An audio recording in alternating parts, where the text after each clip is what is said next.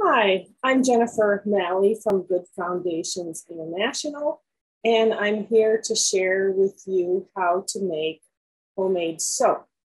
And you can make soap from um, different oils, such as coconut oil, shea butter, palm oil, and also using sodium hydroxide or lye to make your soap recipe. Um, a soap recipe is made from three basic ingredients or four if you're going to add a perfume or a colorant. So we're going to use water, sodium hydroxide crystals, sometimes referred to as lye, and a locally sourced oil that you can purchase in your area. And like I mentioned earlier, you can add a colorant or a fragrance to your soap. Um, depending on the oils that you would like to make soap with, not every recipe is the same. Different oils require you to use different amounts of sodium hydroxide and water. So if you want to make a different recipe than the recipe I'm going to show you today and use a different oil or combinations of oil, feel free to contact me and I can help you um, get a recipe for, for the correct amounts of the ingredients to make a successful soap. So today I'm going to show you how to make um, soap using just coconut oil. And um, so we'll proceed from there. So let's get started. We're going to discuss the materials and the equipment that you will need before you start to make soap. So I have here sodium hydroxide crystals. Today, I'm going to use coconut oil, but like I mentioned before, you can use a lot of different oils, especially the ones that you can find locally um, to make soap. So you need your oils. You're going to need some clean water. I have here some essential oils that I'm going to be using as fragrance for my soap. You're going to need a thermometer so that you can read your temperature in Celsius. You'll need access to a scale that can measure in grams. You'll also need a glass jar that can handle a little bit of heat.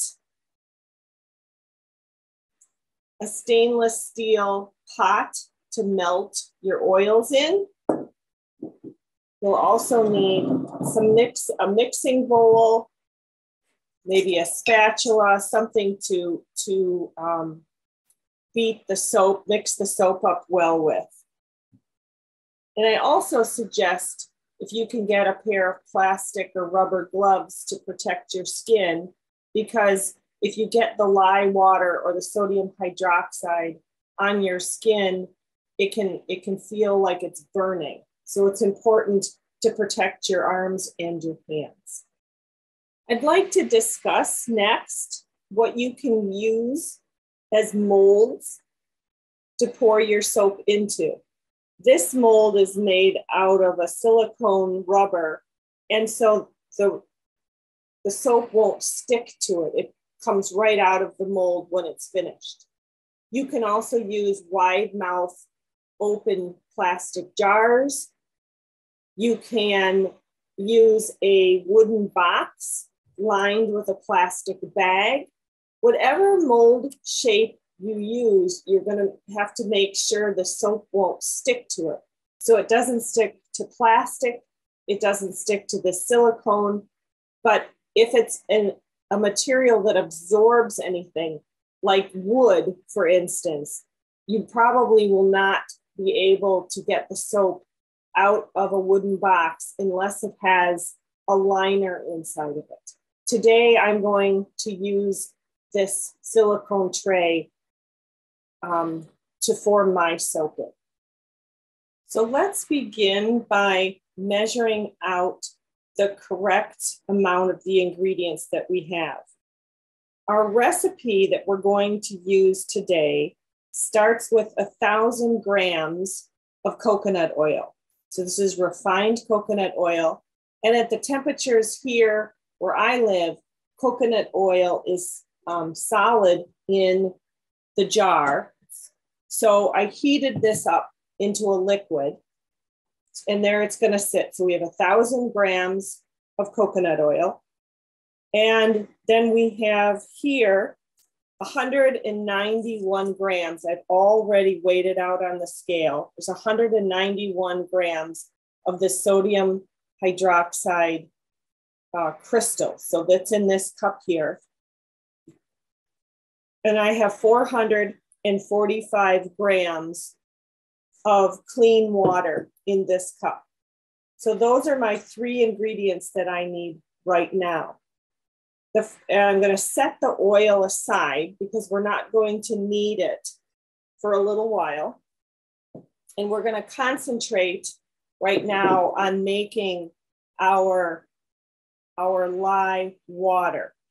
What's going to happen is when I add the lye and the water, or I'm going to use the same word, the lye and sodium hydroxide are the same, means the same thing. So when I add the lye crystals and the water together in here, it's going to heat up through a chemical reaction. So the water right now is just room temperature. So I'm gonna pour this in first.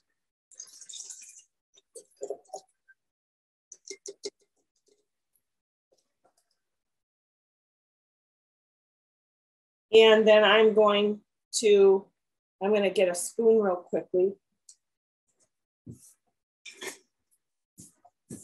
Okay. And I'm going to add the lye crystals to the water and they're immediately, it's going to heat up. And you also don't want to get near this and breathe around in this space because it gives off a very toxic fume. So stay away from this while you're mixing.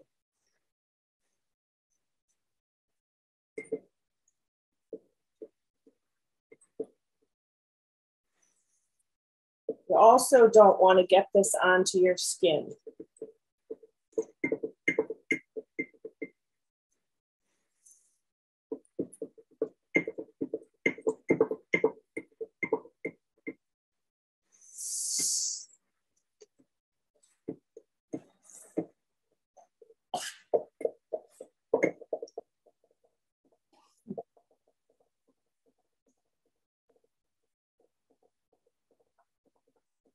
I can smell it. It's really strong.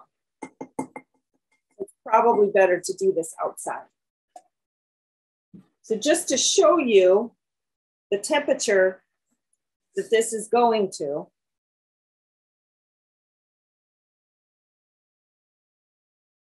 right now I'm reading 93.5 degrees Celsius. So this heated up quite quickly. So it's very hot. I'm actually going to lift it up and set it on a pad so it doesn't hurt the table. We need to now wait until this lye water mixture comes down to temperature. We need it around in the 30s, in the mid 30s. So I'm going to turn off the video camera and we're going to return when I when I'm around 36, 37 degrees or so, measuring that temperature um, with this lye water. So when this cools, we'll return and we'll continue from there.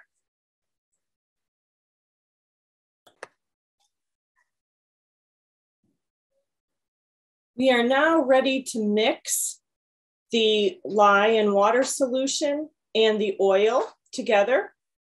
The temperature of the oil or the, I'm sorry, the lye and water mixture is around 34 degrees Celsius. Actually, it's around 36 degrees Celsius.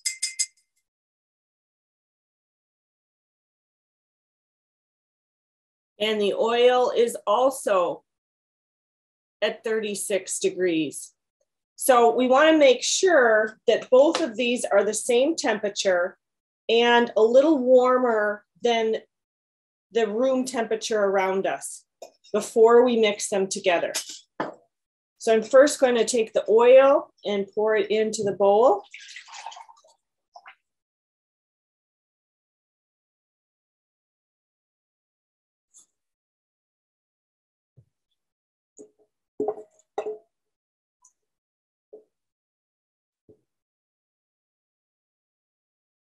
And then I'm going to take the lye water, which be careful not to get any on your skin.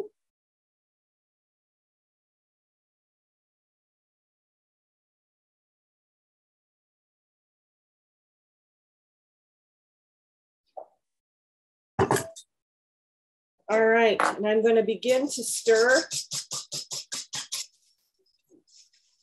these two ingredients three ingredients actually together.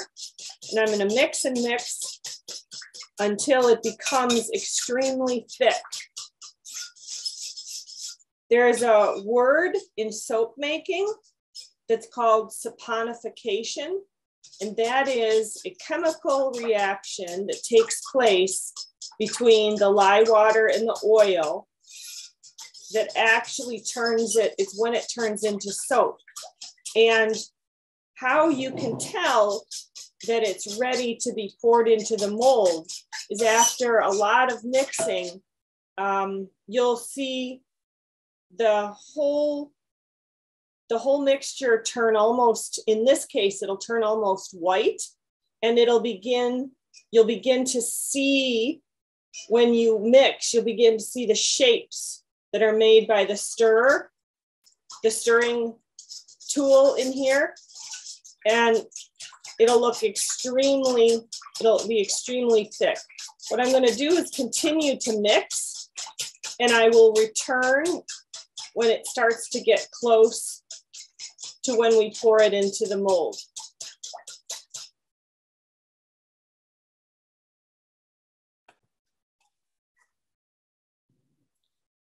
So I've been stirring for a while. And as you can see, the surface holds the shape when I, when I stir. See how thick it is?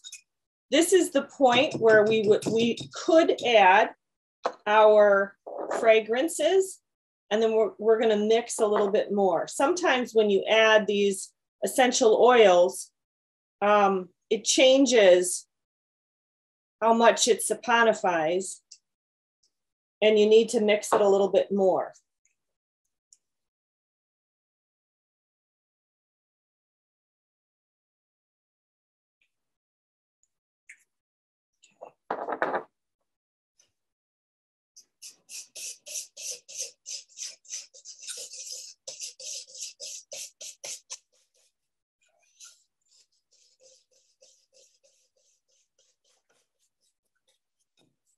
I'll come back again when this has re-thickened and it's ready to pour into the mold.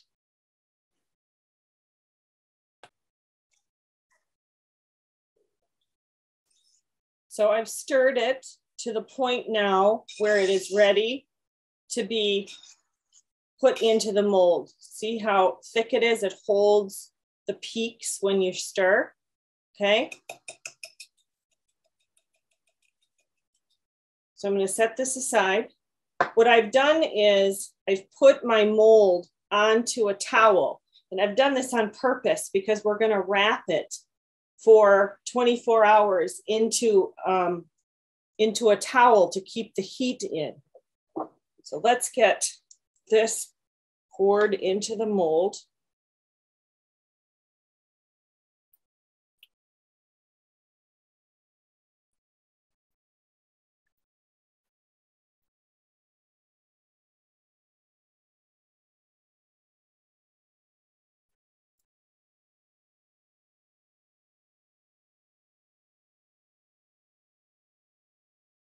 Try to get it flat everywhere.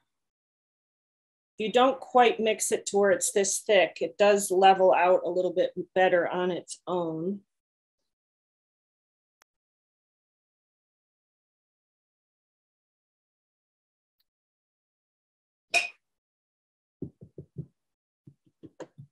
Try to get it leveled out here a bit.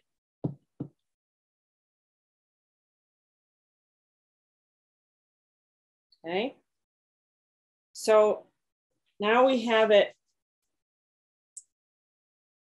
now we have it nice and level. What I'm gonna do is take some kind of a board or a covering and put it over the top to protect it from the towel. And then I'm gonna wrap this in a towel like this for 24 hours so that the heat stays inside and it um, makes the soap nice and firm. I'm gonna jump ahead here and show you another batch of soap that I made out of coconut oil yesterday. And I'm gonna, I opened it up after being in this towel for 24 hours and I'll show you the results. So as you can see, this one is nice and hard. It hasn't completely finished curing yet, but I could take this out of the mold and trim it up with a knife and cut it into bar soap. And once it's cut into your into your bars, and you can just use a, a nice sharp knife to do it, this soap isn't ready to be used for about four weeks. There's still a chemical reaction going on inside this soap, and it continues for a couple of weeks. And also, there's more water that evaporates out, making this soap even harder. So it lasts longer when you use it. So that's um, the basics of how to make uh, soap using an oil, as in today, coconut oil, and um, sodium hydroxide crystals. I'd be more than happy to help any group who's interested in making their own soap. I'll help, I'll help you formulate a recipe. I'll help you formulate quantities to fit into the molds you're using please feel free to contact me, Jennifer Mally, at Good Foundations International if you would like any assistance with soap making. Thank you.